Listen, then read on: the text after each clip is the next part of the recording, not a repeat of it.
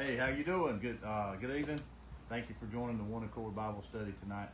And uh, we're gonna wait for some people to sign on live, and we'll get started. And uh, we appreciate you guys joining us. So if you would, please comment, let us know where you're watching from, and uh, we love to see different places we're reaching. And share this video.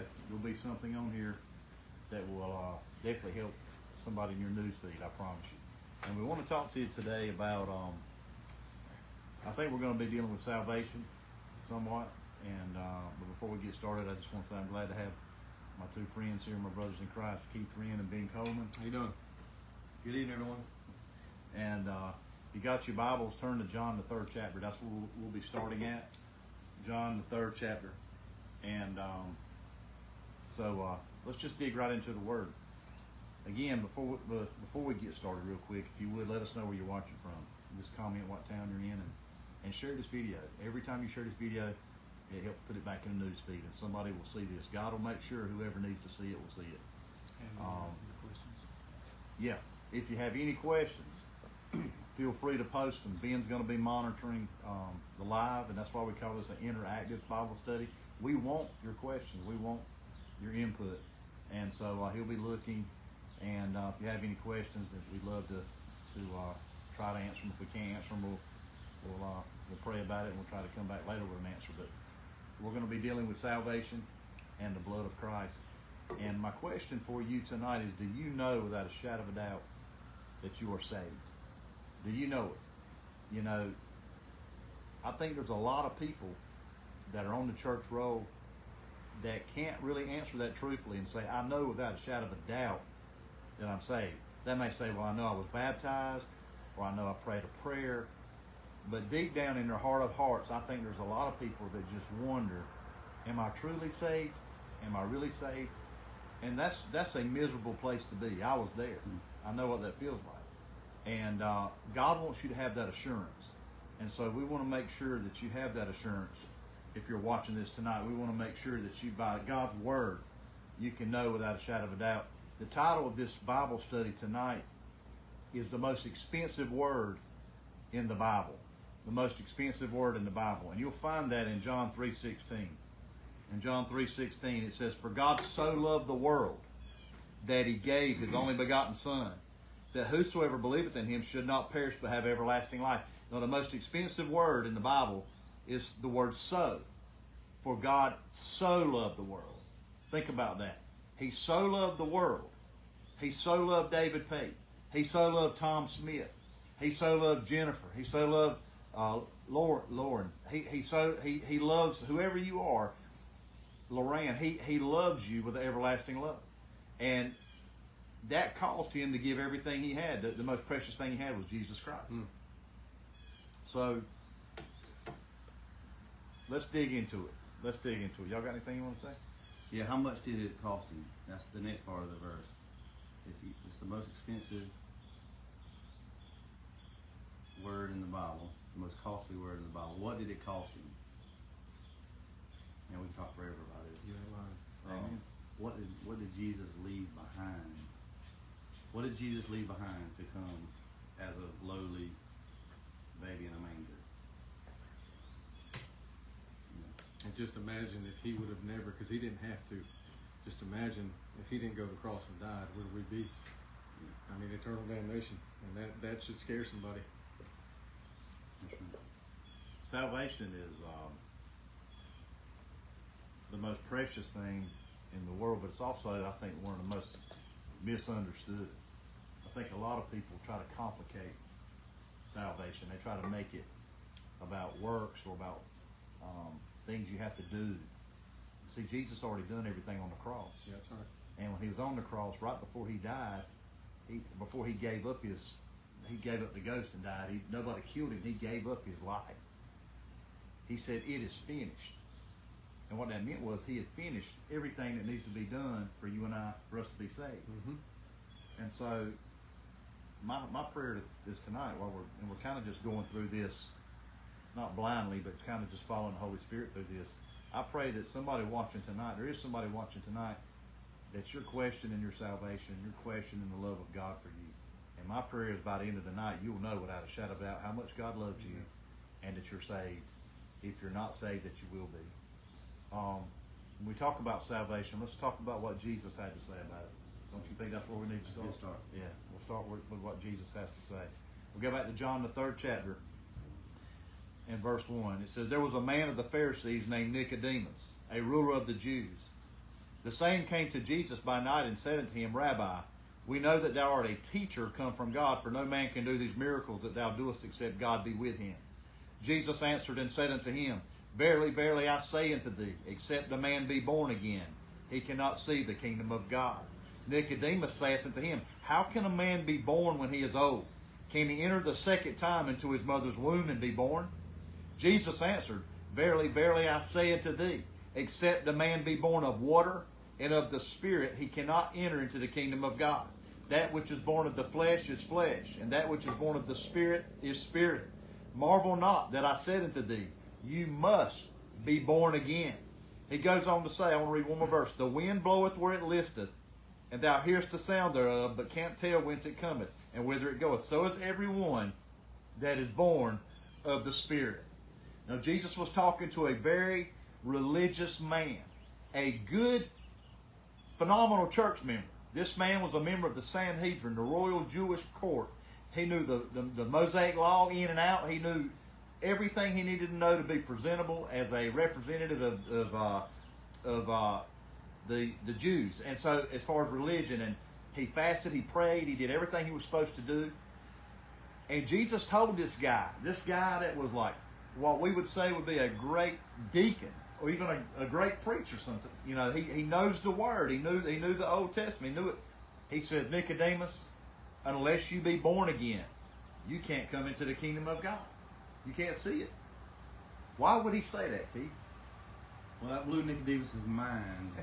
Obviously, it blows our mind. Born again, and that's the first question. Mm-hmm. If you're thinking in the flesh, if I'm in the flesh, do I need to enter my mother's belly again? Obviously, no. That's crazy. So if we're thinking flesh, that's impossible. But if, if we're reborn in in the spirit, our mm-hmm. spirit is reborn. Our spirit is, and he Jesus talks about the wind. You don't understand the wind, but you see it, you feel it, you see the effects of it. Same thing with the Holy Spirit. What a what an awesome service! At, at, if you have a, a wonderful spirit-led service at church, and the Holy Spirit shows up. Can't see him, but you can feel him. You can hear. You can listen to him. You can see the, the effects of him. Amen. Amen. You know, you can, you can sometimes, like you said, you can't see him, but you can see the effects. You can see it move, move through the crowd. Mhm. Sometimes you can see people like raising their hand. You can see like it's like a wind, it's like the wind blowing through. Yeah. And does the wind have power? Does the wind can be very calming and cool? Like right now, I wish we had a little wind here. Kind of warm outside. A little wind would be great, but you, then you see a hurricane. The power of a hurricane. Yeah. And what? There's no more power than the Holy Spirit. Um, taking over a man. I've seen him take over a man's life who basically denounced Jesus his whole life. And through planting seeds and watering seeds, the Holy Spirit changed him from the inside out to where now he's a he's a Christ follower. And he got saved. Just the same thing what he's what Jesus told Nicodemus. Um, man can't do that. Man doesn't have the power to change another man's heart. That's the Holy Spirit. It's, a, it's something supernatural that happens that you really can't explain. You can try and explain it, but you cannot explain. I mean, look what look what happened to Paul. Look at what he was doing That's a- to what he became. example. That is a fantastic example of what God can do. You know, I was I was pastoring a church. Um, well, I really wasn't pastoring. I was interim pastor, and I was just filling in. And um, there was this um, lady. She wanted me to go to, to the hospital and see her dad. He was dying, and just pray with him. She said, he, you know, he's saved and everything. I went to see him, and he, I'll never forget it. He was watching wrestling. They just had the wrestling on. He was really into it. Eighty, I think, eighty-two or eighty-three years old, and uh, I just was kind of sitting there with him talking, and he was just really into wrestling, and I, I you know, it's kind of awkward. And then out of the blue, I just started feeling that I need to ask him, "Are you saved?" Even though she had told me he was saved, and I just had that feeling, and I looked at him and I, I said, sir, I want to ask you a question. Now, are you saved? And he looked dead at me and he says, I don't think so. And his daughter's mouth just dropped. Mm-hmm. And and there and I, I just kind of took me back. And I said, Do you want to be? He said, Absolutely. And we prayed right there, and he got saved. And like I said, he was dying. The doctors told him he was he didn't have long to live. He ended up getting better and lived ex- almost exactly a year from that day. And I had the privilege of, of telling this testimony at his Wow. funeral. Awesome. Yeah. So don't take for granted that everybody is saved just because they go to church. This guy went to church, is a good man, but uh, you must be born again. And that's something the Holy Spirit does in somebody's heart. You can't save yourself, and you can't save your, your family and your friends. The Holy Spirit does the work, but we can carry the message of the cross, the gospel. Now, before you can get saved, you got to know you're lost. And what does Jesus have to say about people that are without Christ? He says, For the Son of Man has come to seek and to save that which was lost. Jesus considers them lost, lost, separated from God. He also told the Pharisees at one time, He said, You're of your father the devil, and the lust of your father you will do. He was a murderer from the beginning and abode not in the truth because there is no truth in him. When he speaketh a lie, he speaketh of his own, for he is a liar and the father of it. And I think Keith, mentioned a while ago about the heart. You know, salvation is a heart change. It's it's not a head. It's not in your head. It's in your heart. We we just got back from youth camp, and our pastor um, talked about that. Um, a head knowledge of Jesus, he gave a great example. Is just like a head knowledge of Michael Jordan. All right, we're in North Carolina. Most of us, if you like sports, you know that Michael Jordan went to Laney High School. He went to um, you know UNC. He's a Tar Heel, won national championship. Then he went on to Chicago Bulls. He was a uh, he got a repeat, three-peat. Okay, we know a lot about Michael Jordan. But if Michael Jordan was to walk right there, and I said, "Hey, Mike," he would say, "Who are you? Why?" Because I don't have a relationship with him. I've never talked to him. I've never. Uh, he's not my Lord. I, I've never done what he told me to do. So that's the difference in having a head knowledge. You know who has a head knowledge of Jesus? Satan. Satan knows all about Jesus. Hmm, that's powerful. That's good. Satan knows. I mean, he spent time with him face to face. He knew who Jesus was. Yeah. But the, the thing is, what did Satan do about it? Satan tried to take him down, obviously. Satan tried to kill him. He, he did. Um, which Jesus allowed that, obviously. But um, the difference is, Satan didn't follow Jesus and have a relationship with Jesus, didn't love Jesus, didn't obey Jesus. And so all that goes into it, have a relationship with somebody. It reminds me what Jesus said, if you love me, you'll keep my That's commandments. huge. You know, a lot of people love say they love Jesus, but they don't do what the Bible says. They don't do what he tells us to do. His commandments are at- the beginning of, that, from that from the a big picture. His commandments are a lot. Like I can't do this. It's a lot of rules and regulations, and I can't have fun. But in reality, it's the further that can't be further from the truth. Because like a good parent, you want to put guardrails around your kids, protecting them from all evil, from being any unsafe thing. So he he gives us rules uh, or uh, commandments because he loves us. If he wants to keep us safe, he loves us. He does. He loves us so much that he he give everything. He so loved us. So loved us. There it is. Yeah. Jesus was in Mark chapter 7, he says, For from within out of the heart of man proceed evil thoughts, and adulteries, fornications, murders, thefts, covetousness, wickedness, deceit, lasciviousness, and the evil eye, blasphemy, pride, foolishness. All these evil things come from within and defile the man. It's a heart problem. And so, one of the reasons we have so many people on the church roll that are lost and and a lot of people will believe this, and, and I know it to be true myself. I really believe there's a, a lot of people. It's because they've never had a heart change. They have a head knowledge, as, as Keith was talking about. Like you know, they they know about Jesus, they know about what He done, but they've never had that relationship. Maybe maybe you're like that tonight. Maybe you've never had that personal encounter with God. You just have a head knowledge. There, I've seen a lot of people um, through the years that are very religious, very dedicated to their church, very dedicated to, to the service. Every time the service there was a service, they were there. But you know, in their life, their personal life, they didn't have a lot of fruit in their life. They didn't. Ha- they didn't appear to really have anything going on in regards to carrying anything outside the four walls. And my question is for you, Ben, do you do you think somebody that's saved, truly born again, would they have a desire to share the gospel or, or share their testimony outside the church? Absolutely, absolutely. You have the desire to step out of your comfort zone and to spread the gospel and to be a witness for Christ. Absolutely. That's something before I was saved, it would have never crossed my mind because I like being in my own personal bubble space. But God will get you out of your comfort zone. But He is there with you the entire time. He will never leave you nor forsake you. What do you think? That's another part of being in a relationship. Um, you want to tell others about it. Yeah. We're teaching our youth on Wednesday nights. Yeah, Uh, look what he's done for me. Why do you want to tell them that? I mean, why do why would you want to tell somebody about Jesus? Really? Because if somebody watching that's not saved, saying, well, why would you want to do that? I'll what tell you make why. you feel? Okay. It's just like winning the lottery. If I won the lottery, I wouldn't keep it from you. I tell you, Would you? Dave, Would you share it with me? I'll share it. Okay. Yes, I would. Y'all remember that? I'll fill you. I'll fill your truck up with gas.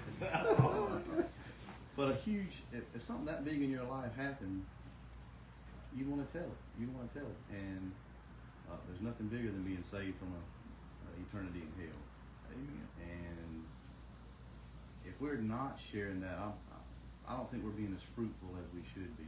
Um, Do you think it's every Christian's um, duty to share gospel? I do because of Matthew 28.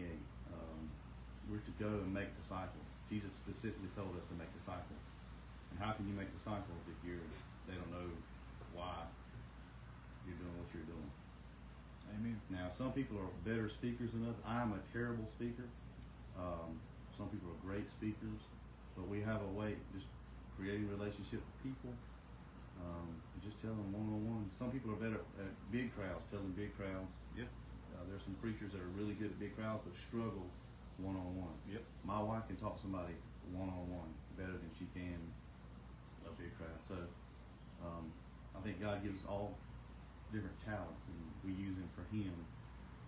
He'll give, He'll show us that niche where we tell others about Him. And I think another thing, you mind if I add something on that point?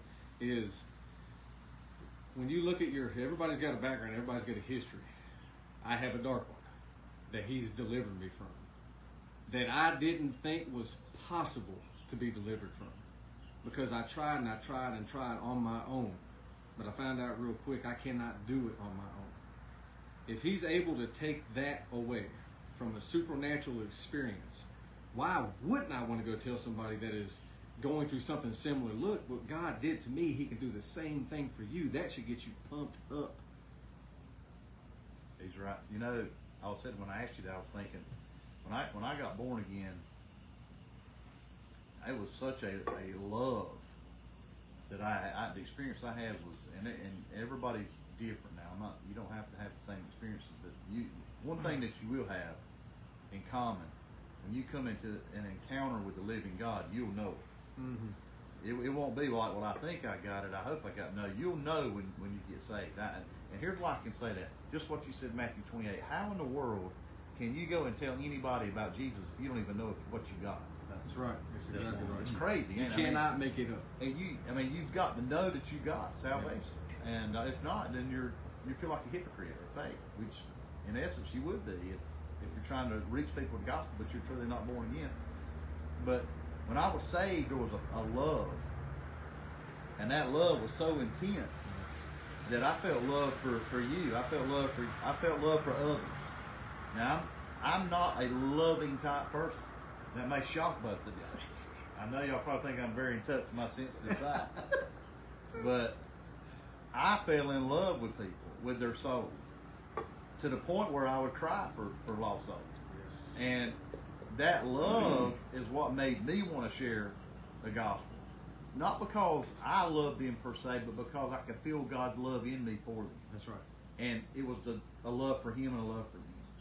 and um, you you can't you can't fake that. Know, This love is crazy. How Jesus put his he he died for somebody else who hated him. What if that happened to me today? And before I was saved, somebody hates on me. I mean, I was a child when I was saved. I was seven. Somebody hates hated on me. I'm hating them right back. Yeah. Only the love of Jesus can turn that around to love your enemies, and it's still hard today. You know, we know that. Um, to love somebody who fits in your face. that's right. um, but only through His power. Only through His power can we turn around and love them. And God, God uses that stuff.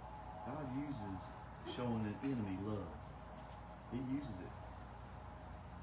It blows my mind. You know, how often, you know, when you were talking about instead of loving the person for themselves, start looking at the soul, that changes everything.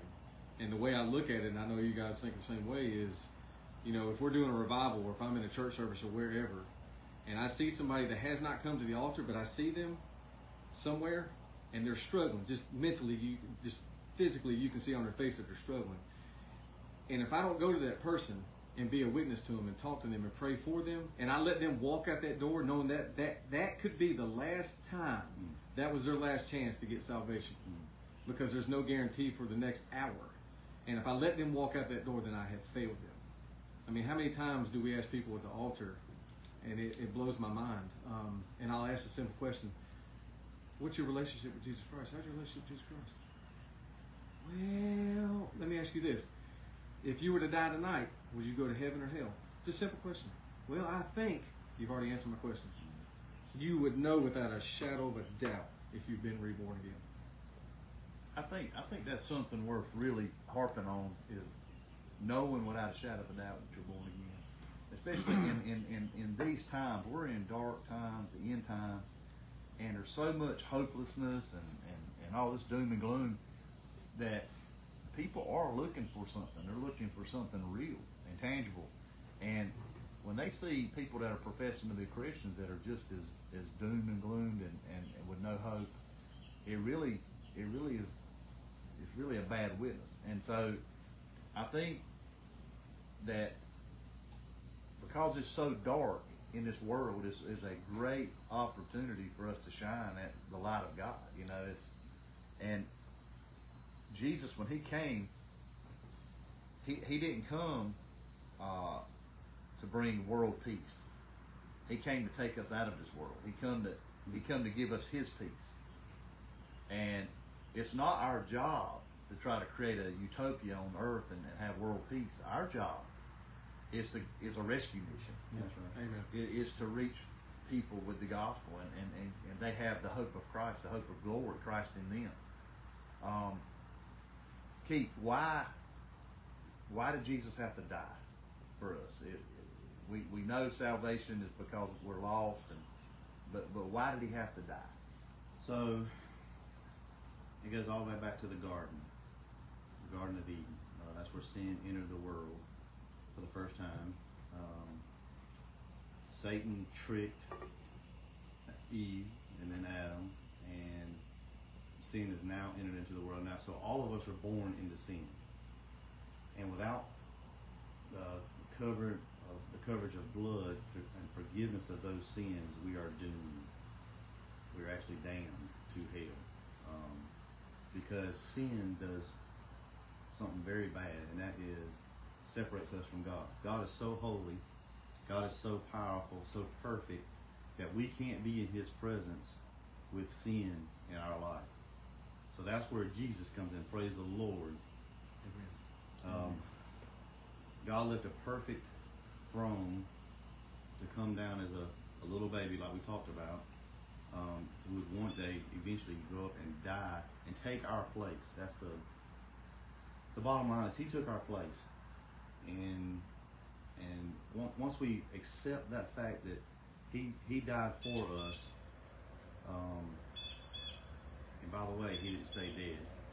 Uh, he came back to life. He defeated hell and the grave, so we wouldn't have to. And all we got to do is accept that fact and make Him Lord of our life, and ask for the forgiveness of our sin, and give it all to Him. Just give everything to Him. You're saved. That's, that's how you get saved. And I ain't, I ain't trying to put nobody on the spot, but I, I want to I want to talk on this, the simplicity of it. Why did he have to die and shed blood? Why, why blood? So, in the Old Testament, the sacrifices had to be brought to the temple to as an atonement for the sins of the people. Like a, an animal or something? An animal, an animal sacrifice. Um, and God wanted the best. He didn't want to, you know, bring your your worst looking sheep. Mm-hmm. He wanted your best. And so, thankfully, we don't have to continue to do that because Jesus did that for us on the cross. That, that His blood covers our sins, just like way back in the Old Testament, the blood of that animal would cover our sins. Amen. You know, they, the, uh, the mercy seat on the Ark of the Covenant, there's two cherubims there, and on that mercy seat, the priest would go in to that Holy of Holies and he would sprinkle blood on the mercy seat one time a year. Yeah. And they would tie a bell to his leg and a rope. Because if he went into the Holy of Holies, in the temple, I think there was three sections. I know the, the, the section where the Ark of the Covenant was, which is where God dwelled, where they, they come to dwell, he come down to dwell. It was so holy that his priest had to be completely consecrated before he could go in. And if he went in and wasn't, go- he would die. And one time a year, he'd sprinkle that blood that you're talking about. And in that Ark of the Covenant was Ten Commandments, the law. And so the law really was not given to us to, to save us. It was it was really given so we could see we needed a savior. Because we can't keep the law. Uh, you may think, well, I've kept all the commandments. You may think you, you say, I've never, I've never murdered anybody. You know, I've never, I never steal, stole anything. But you know, you, we murder people with your mouth, with gossip. You steal things. There's a lot of ways people can steal, but the Bible says if you're guilty of one, you're guilty of all. Yep. And so, And how many sins separate you from God? Only takes one. Perfect. That's Yeah. right. Well, the blood, is, I want to talk about that a little bit. Um, Jesus said in Matthew 26, he said, and he took the cup and gave thanks. This is when he was doing the um, uh, Last Supper. He gave it to them, saying, Drink ye of it, for this is my blood in the New Testament, which is shed for many for the remissions of sin. So what right there he's saying that his blood had to be shed for forgiveness of your sins, our sins, right? Hebrews 9.22 says, And almost all things are by the law purged with blood. Is what Keith was talking about. And without the shedding of blood is no remission. There's no forgiveness.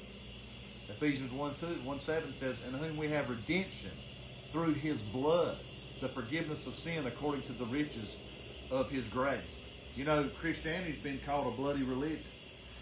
You know, but the blood is is is everything. The the precious holy right. blood of the Lamb of God, a spotless lamb without blemish, Jesus Christ. His blood, holy and pure. Um, say, it, completely not only forgives our sins, but is as if we have never sinned in God's eyes. That's right. Y'all need to get that.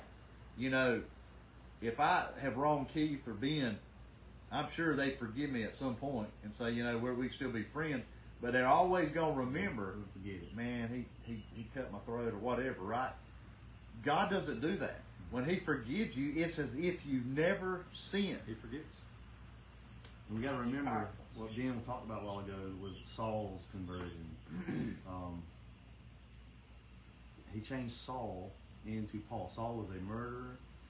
All, his sole sole existence was to persecute Christians, to get rid of Christians, Yeah. to pound out Christianity Amen. and all Christ followers until he had the experience on the road to Damascus, until he was saved. He had an experience with God. And God used him, and God didn't count all, all of his past against him. Can you can we say amen to that? He didn't count his past against him. And I know there's people watching or listening, or will listen later, that think I have done this, or I have I haven't always been the best at this. Well, I'm pretty sure you didn't kill any Christians. If you did, you probably didn't kill as many as Paul. I mean Saul, excuse me, Saul. And what did the Lord use Paul to write half the New Testament? Um, It blows my mind. it is amazing. That is amazing. That's the picture of forgiveness. Picture of, of, of a life turned upside down. And when, when he turns your life upside down, you won't want to do those old sins that kept you from God's presence. And uh, Revelation 1 5 says, To him, Christ, who loved us and washed us from our sins in his own blood. Yeah, Jesus, when, or the Father sees the blood of Christ applied to our hearts. He doesn't see all these other things I've done in my past. Praise the Lord. Amen. Because I have a lot. You know, you know, I was I was thinking about um, Kennedy, the, the guy that's talking about running for the Democrats. Uh, Robert Kennedy, Jr. Uh, junior, third, I can't remember. Anyway, I was watching the interview and he said, "Well, I got a lot of skeletons in my closet." You know, this guy, I would say this about him. He, he, just, he comes off being real genuine and just straightforward. But it got me thinking, we all have skeletons in our. And, you know, if I was to run for office, oh my Lord, there'd be skeletons coming out left and right. But the way I would handle that, and I'm not running for office, but if the way I would handle that, or handle that when people bring up my past, is I say, you're right. Yeah. I did do that. I did more than that. You don't know, but I did worse than that. But God. But God. God. God so loved. Yeah. Because they say it like, well, who, man, you should, eh, you sure you should be preaching? I'm like, yeah, absolutely. Because I, I can tell you, I've been in the, I've been in the pit, man, where, where the, the bad stuff is. And I know what he can do. He can use anybody, anywhere, anytime, if they'll surrender to him. It's not about me. It's not about you. It's, it's about Jesus Christ and him crucified. Mm-hmm. Bottom line and he's come to set the captive free. That's right. And we're not given a spirit of fear and bondage. We're supposed to be uh, free and have liberty. And a lot of Christians walk around in, in fear, guilt, and unforgiveness. Um, That's straight from Satan himself. Absolutely. That is not from God. And it's not even forgiveness for each for others. It's for themselves. A lot of people can't forgive themselves, man. Yeah, we persecute ourselves. A newsflash: we're all hypocrites. So, and only by the blood of Jesus and blood of Jesus alone are we saved. Are we free, free indeed? So maybe you're watching tonight and you're you don't you haven't forgiven yourself. Maybe you've had an abortion, or you've had an affair. Um, maybe you've wronged somebody or hurt somebody really bad, and maybe maybe you've talked to them and and and you've you've made it right, but inside you've never truly forgiven yourself. You got to do that now. You got to ask forgiveness. You, you've got to give yourself forgiveness because God, when He shed His blood, it was for all sin. It wasn't just for you know the lie, little white lie. It was for the the the the most awful sin. Matter of fact, you're talking about sex trafficking now a lot because of the mm. movie that's come out, um, yeah. uh, Sound of Freedom. So you know, even people like that that are involved in that, they could be born again. They could come out of it if they would repent. Now there is a point to where you can't be saved. Uh, blaspheming the Holy Spirit. That's a whole nother. Yeah, that's. Uh, he's trying to give you a, a, gift of salvation, and I'm not. Yeah. I'm, I'm not taking that. that. That's blaspheming the Holy Spirit. It's like telling you no. Rejection of Jesus. Rejection. Yeah, rejecting. So the blood you have something? No, you're good. Good. The, the blood should be preached more and talked about more um, than it is because it that's that's where it's at. Jesus Christ had to shed His precious holy blood for us to have redemption. The Bible says, "In whom we have redemption through His blood, even the forgiveness of sins, and having made peace through the blood of His cross." by him to reconcile all things unto himself. By him I say, whether they be things in earth or things in heaven. So that blood paid it all. You're bought with a price. You know, when you're saved, you don't belong to yourself. You belong to God. Mm-hmm. You're bought with a price. Revelation 5 9 says, For you were slain and have redeemed us too by God, your blood out of every tribe and tongue and people and nation. And you know, salvation is is a, an, an experience. It's not um, it's not a, me- a, method. I don't know if that makes any sense. It's it's not methodical. It's not a cookie cutter thing. It, it's an experience with God. And, and, and what brings that experience is a convicting power of the Holy Ghost. the Holy Spirit grabs your heart, even at seven years old. You're seven years old when you got Mhm. saved, right? That's right. Even at, what have you done at seven years old? Yeah. I mean, what? Dropped your sippy cup or something? I mean, really, what what could he have done at seven years old? But God had a, re, a purpose to save him at seven, and look, kids can get saved a lot easier than adults because they don't have all this junk in their head. They believe. Jesus said, the, the kingdom of heaven is like this little child. He was talking to the disciples. They're like, hey, I want to be, who's going to be greatest in the kingdom of God? He says, okay, I'll show you. And he, he brought this child. He said, this, this is what you have to be to come into the kingdom of heaven. Childlike faith. Seven years old. How in the world did you get saved at seven years That's old? right. Praise the Lord for a loving family who taught me that you, we're born into sin. It doesn't. If you're seven years old, you're a sinner. If you're six years old, you're a sinner. You're born into sin, day one. Um, we're not. We don't learn to be selfish. We're born selfish. And lying too. We're born at lying. We're born to cry to get my way. Before we can talk, if I cry, my mama feeds me. We're born into that. And so, my mom led me to a believing faith in Jesus Christ. And now it's taken some time to grow that relationship with Jesus. It's not um, you know, you study His Word and you, you learn more about Him every day. You know, Billy Graham continued to learn about Jesus until his death, right? Now he's seeing face to face. So um, once once we realize that we're a sinner, that we need Jesus, um, make him Lord of our life, and, and ask him to forgive us of our sin. Yeah, seven year olds can sin. Um, I don't know many seven year old murderers, but um, that's what we were talking about a while ago. He can save you from the little white lie. He can save you from the rape. He can save you from the murder, the divorce, whatever is out there.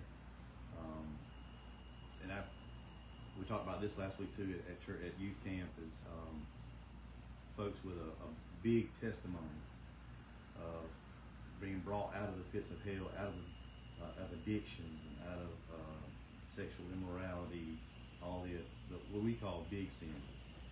Uh, those are miracles. It's, a, it's the same miracle as saving from somebody who's never done that kind of stuff.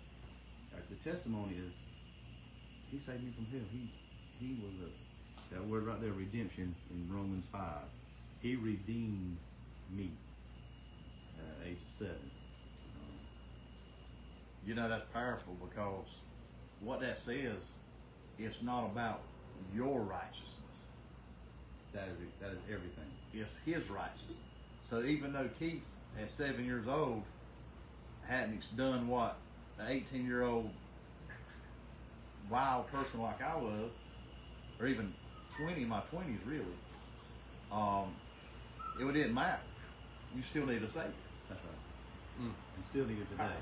Um, the key is, I think we talked about if I know I'm saved. How do I know I'm saved? Well, Yeah. Scripture tells us we know we know by their fruit. Okay, so That'll preach right there. what fruits are we showing? Um, the fruits, the, the fruits of the Spirit. You, you know, First Corinthians, I mean, uh, First Corinthians thirteen talks about love. Do I show love ever in my life? I know some people who, good church going people. I've, I don't know if they love anything. They're always mad. The first, uh, if my first response to every situation is anger, I gotta need to deal with that. Um, so I don't want to go Keep, keep too going. personal, Keep going. too personal there, but um, I want to yeah, well, know know it by our fruits. Are we? Do we show fruits? What, What, what, did Jesus do to that fig tree that wasn't bearing figs? He cursed it? He cursed it to death, That was and we're cursed to death if we don't have a relationship with Jesus and He don't see our fruits. the fruits. I want to read that to you because uh, Galatians five. This is the fruits of the spirit. It says uh, Galatians five in verse uh, twenty-two. But the fruit of the spirit is love. That's the first one. That's the first one. Why? Why would that be? Because that is God is love. You can't, man. If you say you're saved and you don't love, you're full of it. We're full of it.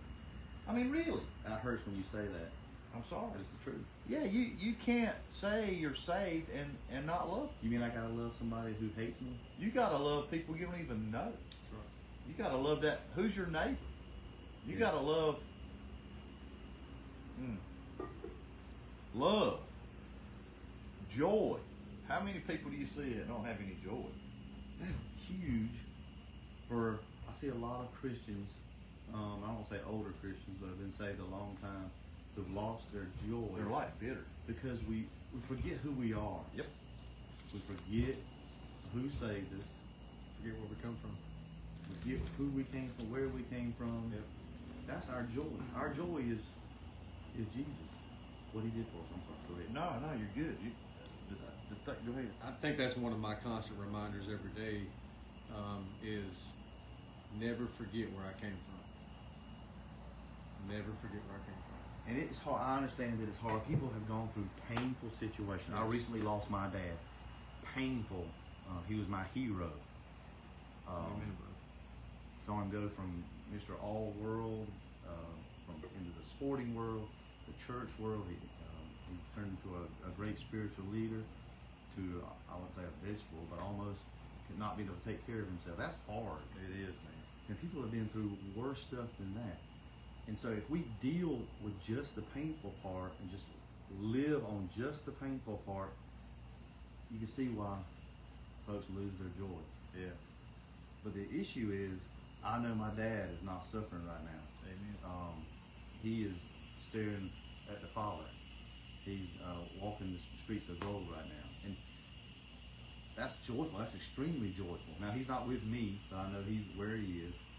Um, I know I'll see him again one day, and that's when we talk about joy.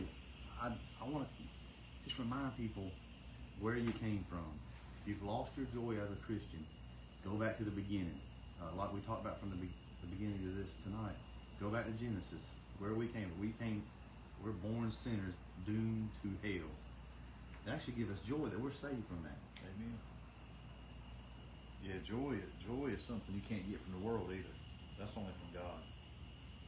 Yeah. You can't get joy from thing materialism. That's you might you can be happy, but true joy only comes from God. That's right, and that's eternity. Everything in this world is temporary. Everything. Love, joy, peace, long suffering, That gentleness. peace goes into non-peaceful situations. Yep. Okay, we have um, situations at work where we could lose this contract. I might lose my job. I might lose my wife. I might lose my whatever. We have a peace that passes all understanding. In the in the in the flesh, I try to understand everything. I can't. His ways are way higher than our ways. Uh, we can't understand all the, the ways He gives us peace. What's the opposite of peace? That's right. Violence. Uh, death. I I think when I think I think of fear. Yeah. Fear robs your peace. Does it not? That's right. And who gives us fear? It ain't God. Stay in hell. Because He says He hasn't given us the spirit of fear. That's right. So fear will rob your peace, and I I want I can speak of on that. I mean personally, it's I battle with this spirit of fear that every now and then it will come by to see me. And literally, it's it's literally like somebody coming by the house to to, to attack. Um, I can be going good for a while, and all of a sudden this wave of fear will come, and, and it's really it don't make any sense because you say, man, what? I don't really have anything to be fearful of, and but it's a it's a feeling, it's an anxiety, Yes. and I got the same thing. and it's a, it's a spirit, is what it is. It's an attack, and it's come to rob my joy, my peace, and um, I you have to address those things. You can't just ignore it. My wife will tell me sometimes she says, "You need to cast it out. You need to tell it in Jesus." name." You know, I'll be ignoring. I'll be like just miserable. She's like, "You need to you need to tell it to hit the road." Yeah. Because if you don't, it just you'll stay like Just live in it. Yeah. Yeah. It don't change. Prime example uh, when we went up to Asbury. Yep. Yeah. Yep. So peace, long suffering, man. Ooh. Nobody wants to have to do that. long suffering. Uh, gentleness, goodness, faith, Gentleness goes strictly against our nature. Nature as a man. Yep. Uh, we should be hard on everybody. We should pound people into submission that are not like us. Yep. That's not being gentle. That's not God's gentleness. But can a man be? Can you be manly and be gentle? Jesus was. Exactly. You know, Jesus was not some hippie with flowers in his hair driving a Volkswagen around singing Kumbaya. he was a man's man. Jesus went into the temple and whipped them and cast, turned the tables over. I'm talking about a rough, living in the woods man. That's my Jesus. That's right. I don't have a sissy Jesus. I just don't. And I believe we don't want to get sidetracked, but there's an attack on masculinity anyway in our country. Okay. You know, um, and and gosh, I'm gonna get probably get off here, but I, I got to go here. Have y'all noticed that you don't see any women trying to become men as much as you see men trying to become women with this trans stuff? It, it seems like every time you turn around, it's a man wanting to look like a woman and dresses like a woman. And there's a reason for that. There's a reason for all of it. But it's it's against nature. It's against what God want, want you know created us to be. But it's a perversion. And um, what's your thoughts on it? I know Well, it goes straight to Sodom and Gomorrah. Th- This is not new. no. The Uh-uh. trans world is not new. Um, gays, that uh, homosexuality is not new. It is all the way back in the scripture in Sodom and Gomorrah. And I want to please, if we, if any of our watchers are confused about this topic, just go straight to the Word. Don't trust what we say. Go straight to the Word and read how God felt about the folks in Sodom and Gomorrah. Um, it is black and white. There's no gray area. God made us the way He made us. He made us in His image, so we don't have to change that image. Um, and that's just go back to Sodom and Gomorrah. It's, it, it, right there in black and white. Which, which I know it kind of got off a little bit, but it carries us back to the, the fruits of the spirit, which says faith, meekness, meekness. Uh, if Glenn McKeithen's watching, um, me and him were talking one time about being meek, and we said, well, not like us.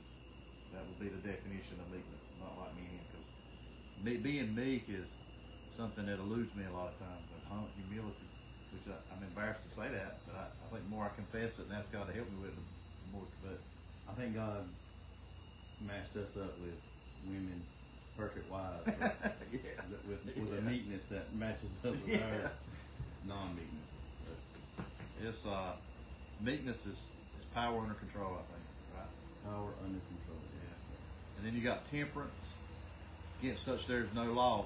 And they that are Christ have crucified the flesh. Listen, salvation. They that are Christ have crucified the flesh with the affections of the lust. So um, we're talking about the fruits of the Spirit. So we know that uh, salvation is for the lost. We know that the blood of Christ has to be shed for us to be have forgiveness of our sins. And uh,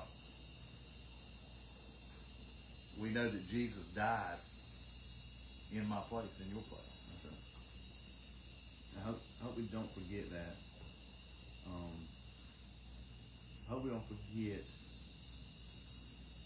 where we should be, where we should be headed, and who we who we were before He saved us, and who we are now. I'm child of the King. That, Amen. that comes with uh, some great benefits. And he rose again. He didn't stay in the grave. Praise the Lord. Are you sure you're saved? Hmm. Has anybody got any questions? Yes, uh, if you don't mind. No. Uh, earlier before, there was good on topic about um, going out being a witness to Christ. Um, Judy Adams said, or asked, "What do you do when a loved one won't let you talk about the Lord and Jesus because they are so bitter about life?"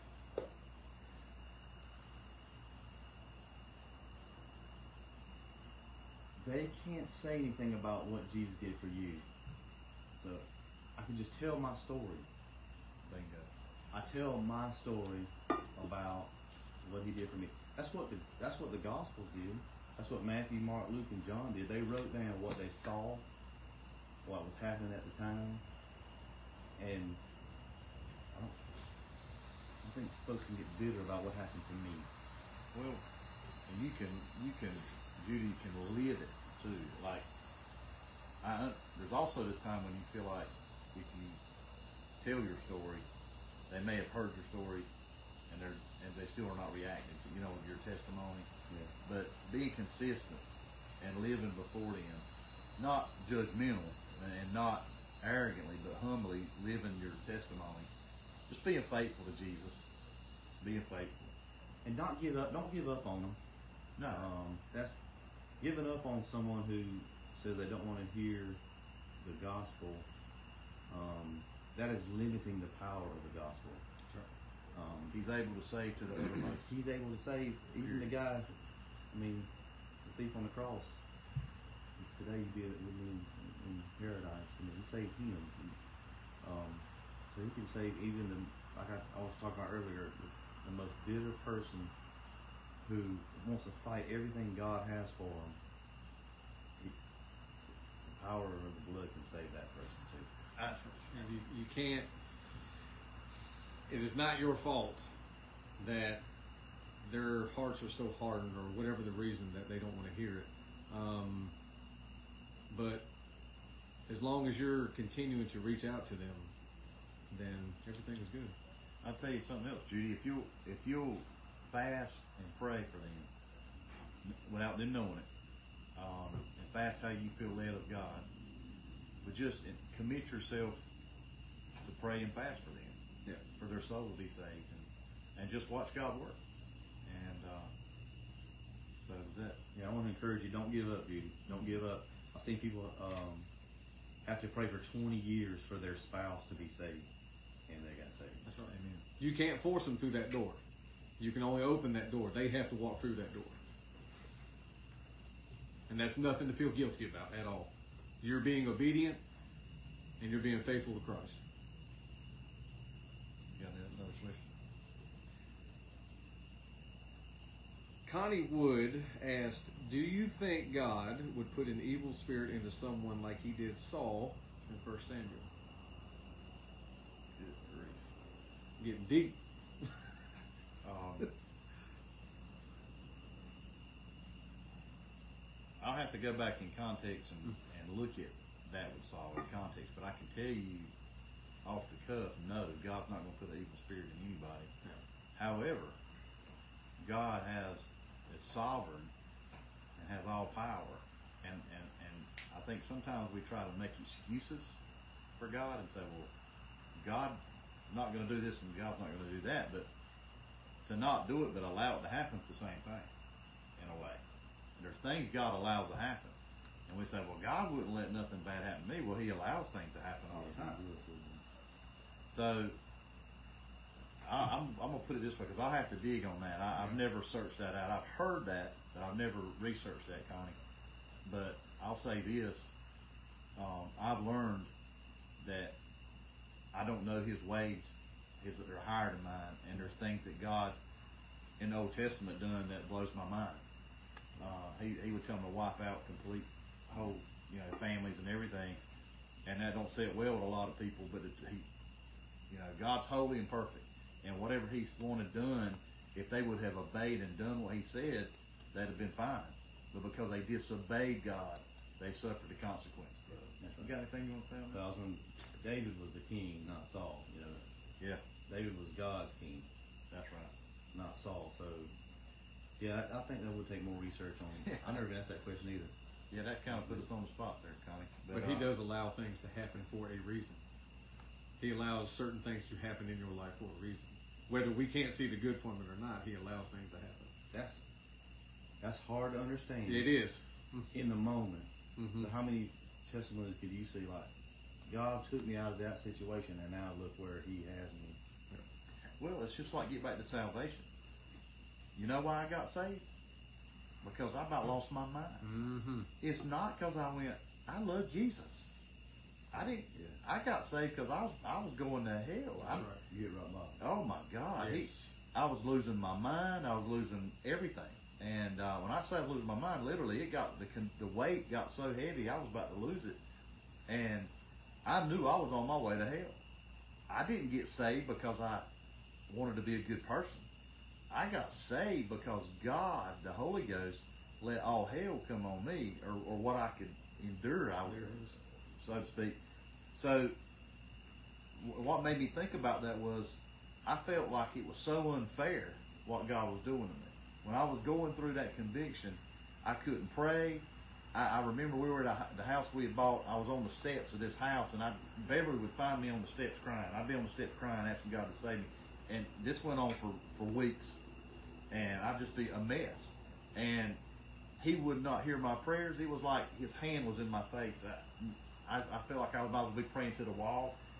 Bad stuff was happening. I had an evil spirit taunting me, all kind of things. And I was like, this ain't fair. Why would God do this to me? What kind of God does this to me? It got that bad. But once you say that, once you think that, where do you go from there? Who are you gonna report God to?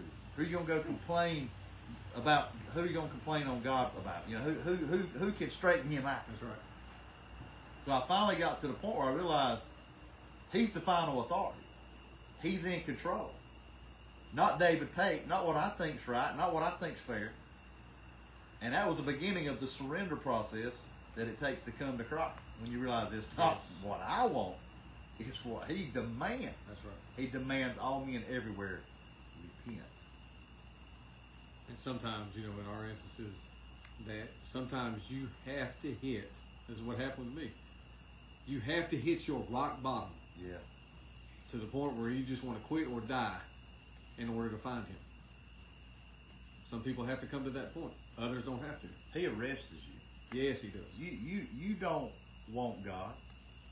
You don't you don't get up one day and go, "Hey, I want to be a Christian. I think I'll do the right thing." That's that's that's bull. What happens is Jesus chooses you. He through His Spirit, the Holy Spirit arrests you. Even at seven years old, even at eighty-two years, old. the Spirit of God draws us. We can't take credit for anything. You can't take credit that that hey, I decided to get saved. No, you. The. Spirit of God draws you. Yeah, but man wants to take some kind of credit. Well, you know, I I made a decision. I decided I'd do the right thing. No, you didn't. You were facing hell. You were facing judgment. You were facing your sins, the wrath of God, and you said, you know what? I want to be forgiven. I want God to save me. It wasn't that you thought, well, I'm going to do God a favor. And I think a lot of people today with these false salvations is they it's almost like they've done God a favor. Well, God's a good God. He does really good things. I'm blessed. I, you know what? I'm gonna live my life for Him. No, uh-uh. that's not salvation. Salvation, it comes through repentance, which is brought on by the Spirit of God who draws you to the cross and lets you see yourself as you really are, and you realize I'm lost and undone. I need a, I need a Savior. I need that precious holy blood of Jesus Christ to cover my sins, or I'm gonna bust hell wide open. That's what's missing in a lot of people's lives today. And that's why a lot of people don't have a true conversion. And and I'm not trying to label everybody, but I'm just, And what you what you do is surrender. that's it, man. Surrender. Everything. I'm not. I'm not defeating this sin. You're not I'm overcoming. not quitting. The, I'm not overcoming this sin. I'm surrendering my life so He can overcome this sin. This thing that separates me from God. That's the bottom line. It's only through His blood. Which boils down back to what we were talking about before, the heart. It's got to be a heart It's change. got to be a heart change. We got more questions? Uh, no, there's only two questions I got for you. Is there any on this? Y'all got some questions posted because we're getting ready to get off here. But before we get off, and, and if you got any questions, please put them on there. If we can't answer them on live, we'll answer them later. Um, how can you be assured that you can keep your salvation? That's a big divide right there. That's a denominational divide right there. It, it, it's disgusting. It's disgusting how divided the body of Christ is with denominations. It's disgusting.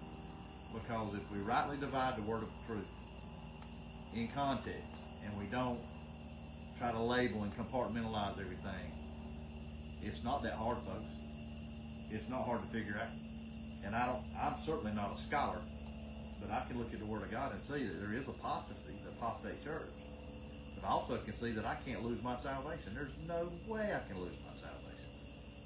If you could, my my understanding and my um, understanding of God's word is, if I could lose salvation, I'm limiting God's power. Now you're saying your sin is greater than Right. than the blood we were talking about. Right. You know, It's only only fresh blood. How many times can you be saved? I've had people ask me, uh, you know, they say, "Do you believe you can lose your salvation?" I said, "Well, how many times can you be saved? How many times can you be saved? Is there a limit? What are you saved from? Are you saved from your sins? That's not what you're saved from, is y'all? You're not saved from. You're saved from the wrath of God. God's wrath abides on the wicked. So when God saves you, He doesn't say, Ben Coleman, I've jerked you out of the darkness into the light and you're born again. Good luck. I hope you make it to heaven. Yeah, If you don't, I tried. How silly is that? You know, it helped me realize I grew up in a church that believed they taught you can lose your salvation. That's what I grew up in all my life. All my life. One day you're saved, one day you're lost. One day you're saved, one day you're lost. And I, I believed that. That's the way I was brought up. You know, they, we were free will Baptists, and that free will was you have the free will, you can lose your salvation. That's not even what free will means when you go and research why the free will Baptist started. It was, it was, um, it went all the way back to uh, Calvinism and all that stuff that you have a free will to accept salvation. Anyway, what I'm trying to get at is somebody out there tonight, you need to know God will save you and God will keep you saved. He doesn't save you hoping that you make it. He saves you so that you will. You're seated in heavenly places in Christ Jesus when you're born again. And it's just like my child I, I, running toward the highway at five years old or seven years old, as Keith was talking about, seven year old, running toward the highway, and I go and grab him and say, Son, that highway is very dangerous. You'll die if you go on that highway. Okay, I'm sorry, Dad. I'm not going to go back in the house Right. and forget he's out there in the front yard because if he's got my genes in him at seven years old, he's still going to run to the highway. so I'm going to make him not go. Y'all want to help me out? I'm kind of getting off here. I think Yeah. the whole point of once saved, always saved, but that doesn't. That's, That's not. not in the Bible, by the way. That's That not. term. Right. That's right. We need to address that. Go ahead. Right. I, I know where you know. I know where you're going, but that's a lot of people say that. if we're the goal is, is to continue to work on that the walk with Jesus Amen. and making him more of our life. My question is to you all, and I know we're trying to close. Um, anybody online, um, if you're not born again, if you don't have a relationship with Jesus Christ, which you can get right now, is it worth? Is whatever you're doing, whatever you're holding on to, is it worth you turning off your computer or this phone or whatever you're doing, going to bed tonight, knowing that this could be your last chance, what I talked about before, and not giving your life to Christ. Is anything in this world worth your salvation, worth your relationship with Jesus Christ? That is my serious question to you all right now watching. Keith made a comment. Once saved, always saved. I, I agree. You can't lose your salvation. But that term, once saved, always saved, is, is something people try to, to uh, argue over. But when you're saved, you're truly born again. You can't be unborn. Right. Right? That's right. That's right. You can't be unborn. The Bible says, Jesus said in John 10, and I give them eternal life, and they shall never perish. What? They'll Yeah. never perish? Yeah. Does that really mean, did he really mean what he said? If you could lose your salvation, that wouldn't be there. So, he really meant never, didn't he? Never. never perish. Neither shall any man pluck them out of my hand. My Father which gave them me is greater than all, and no man is able to pluck them out of my hand. I had a man tell me one time he was trying to, like I said, I believe when I grew up that I was taught, you know, in our church you could lose your salvation. Then I, I went to defend that point, I went to defend it in an argument with a guy that says, uh, you can't lose it. And I was like, yeah, you can. So I started digging in the Bible. I was going to confront him. Well, the more I dug, the more, the more, Come across that right there. yeah, and it convicted me. I was like, Jesus, I'm saved by faith. Jesus is the author and finisher of my faith. I'm sealed by the Holy Spirit of promise. No man can pluck me out of his hand. Including me. Yeah. And I thought, what liberty, what freedom, what joy that my salvation is not dependent on me holding on to that uh, Yeah. changing hand. Is that he holds on to me, thank God. Amen. And that's, that's where we get all the fruits of, that's where we get our peace from. Yeah, amen. That's how our, our long suffering comes into effect. That's how our, all the rest of the fruits of the Spirit. And that love is, is all based on love. Connie Wood has a, another excellent question. Is this a tough? No. so if you get saved and backslide, if you die or Jesus comes back during this time, are you lost? The Bible says God is married to the backslider. And I'll put it this way. If your child runs off and does something wrong, are you just going to abandon your child and say, well, that's not my child anymore? Is he not your child anymore? Yeah. There's no way he's, he's your child. When you're born again, you're born into the kingdom of God. Now, I believe, and this is a whole nother subject, and we're going to get off of here, but there, the Bible speaks of a sin unto death. There's a sin unto death. And I think that people that are truly born again, if they backslide and rebel on God, that God will take them out. At some point, God will just take them home. He'll, he'll just take them out before He lets them become a stumbling block for others.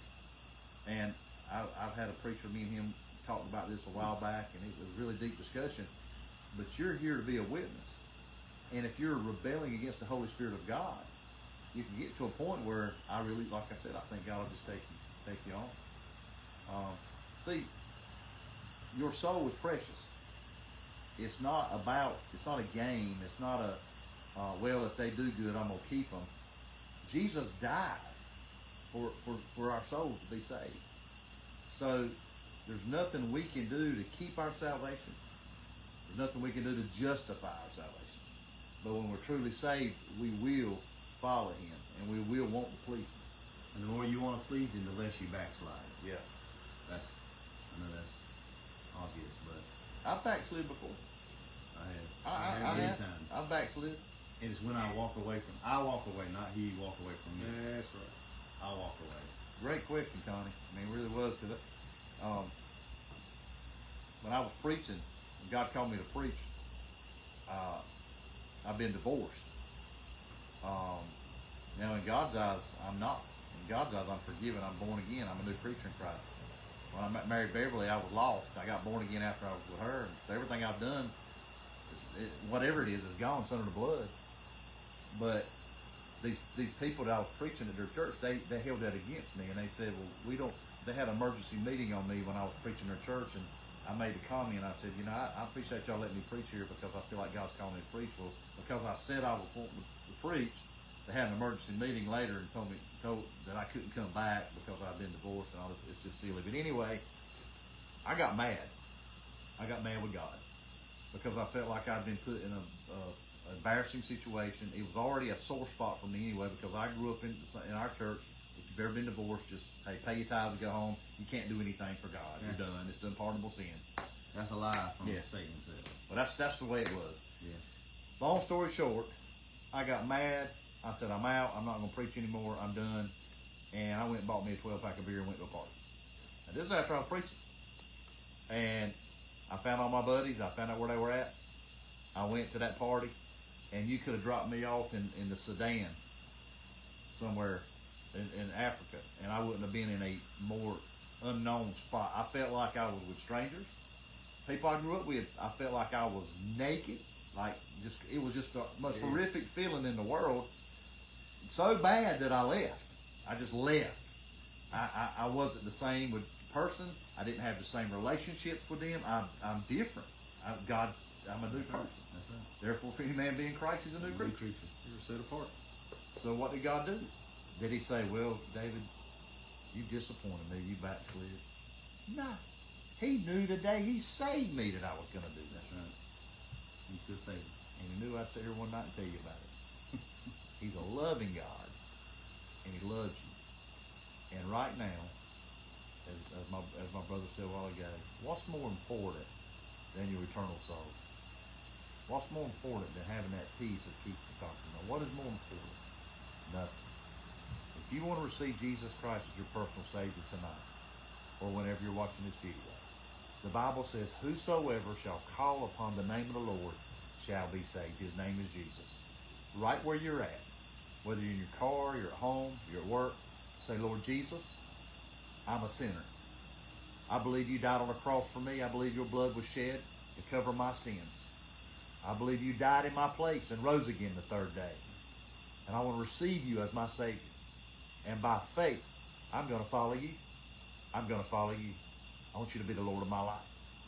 It's a commitment from your heart that you speak with your mouth. And if you've made that commitment tonight to Jesus Christ, is to receive Him as your personal Savior, I want you to type in, I am just one. Type in, I am just one. And the reason we ask you to do that is it makes it public. Mm-hmm. Jesus said, if you be ashamed of me, I'll be ashamed of you when you come before my Father and the holy angels. It's nothing to be ashamed of. I am just one. I received Jesus Christ. They are. They're celebrating in heaven when you receive Christ. Right. Secondly, we'll see it and we'll message you and send you a package with a free Bible and some literature in it to help you get started on your Christian walk. Maybe you're saved tonight, but you've never made a public profession. Maybe you've been a closet Christian. Now's your chance. Type in I am just one. Let let the let the world know that you received Jesus Christ. We'll message you. You can say, Hey, I'm a Christian. I just want to put that in there to make a public profession. But you do that. Christians that are watching, you backslid, you haven't been where you should be with God, you haven't lived the way you should live at work and in public. 1 John 1 9 says that you confess your sins, He's faithful and just to forgive your sins and cleanse you from all unrighteousness. Right now, you say, Lord Jesus, I, I fell back. I backslid. Please forgive me. I confess my sins. You confess it to Him. He'll cleanse you from all your unrighteousness. And then you rededicate your life tonight. You recommit your faith. And the way you do that is you type in right now, I am just one coming home. I am just one coming home. And when you put that coming home part on there, we'll know you're saved, but you're just recommitting your faith. You're recommitting your faith to God. Why would we do this? Why would we give this invitation? Because we're in the last days, in the end times, and your soul is precious. And we want to make sure that everybody that watches this video has the opportunity to receive Christ, be born again, or recommit themselves to Him because He's about to come back for His church. Amen. Praise Amen. the Lord. Woo. Any all hearts clear? Yes, sir. I want to thank Brother Ben Coleman and Thank Keith you. Wren. Yes. Thank you, brother. I want to thank you guys for being with us. This, this is we, this is fun. You We, we enjoy it. yeah. God good. Amen. Let's pray. Absolutely. Father, we thank you, Lord, for um, your blessing tonight, God. we thank Lord, you for thank the you. questions. And Lord, we, we pray for those that uh, lift up Judy's request, Lord, for her, her lost loved ones, her family, Lord. I pray for strong conviction on their heart. Yes, God, I pray they would be saved, gloriously saved, God. Yes, And Lord, we lift up to you all the ones that's watching tonight. Yes. Lord, those that are lost, we pray for great conviction on their heart. Those that are saved, Lord, we pray for them to be just encouraged to go out tomorrow and live for you. God, we thank you for all you do for us, Lord. We praise your holy name. Let the words of our mouths, the meditation of our hearts be acceptable in thy sight. O Lord, our strength and our redeemer. In Jesus' name. Amen. Amen. God bless y'all. Amen. Amen. Have a good evening.